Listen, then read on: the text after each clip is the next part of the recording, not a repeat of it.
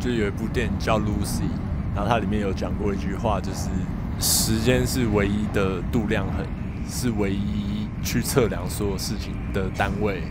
你相信，如果一切都被设定好的话，那时间就是那个唯一的变数。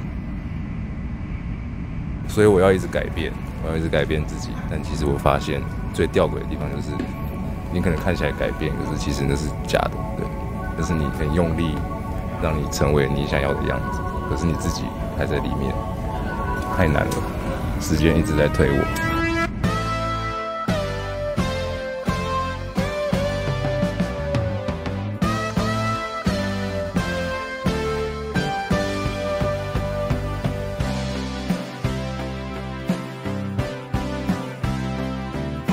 Tokyo 是日本现在的首都嘛，就像比较跟世界有一些接轨，所以那边的生活可能就步骤上比较繁忙。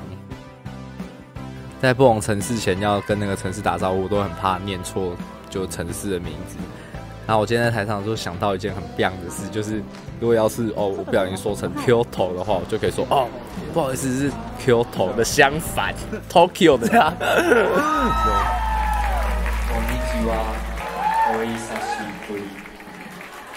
私たちはサンセットロードコースター。よろしくお願いします。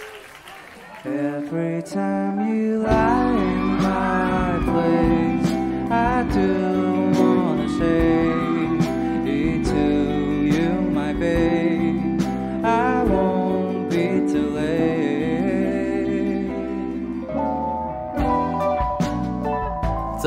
张作品可以算是同一个故事，科幻的爱情故事。它比较像是哦，就是心路历程的某一些片段，自己拼拼凑凑一些线索。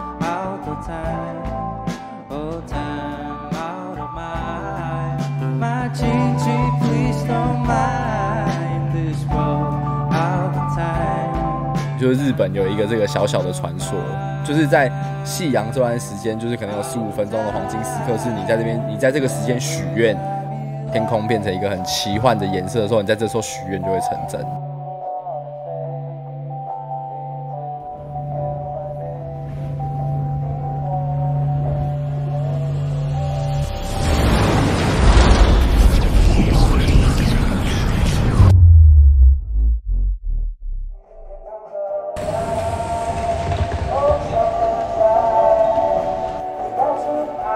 我觉得历史它本来就是一个循环的东西，真正的创新都是奠基在历史底下的。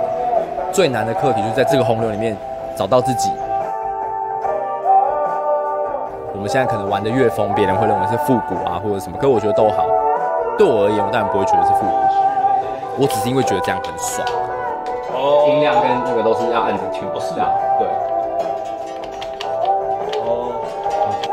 我现在被吸引，所以我现在这么做。然后可能过十年，有别的东西吸引我，我可能就会做不一样的事情。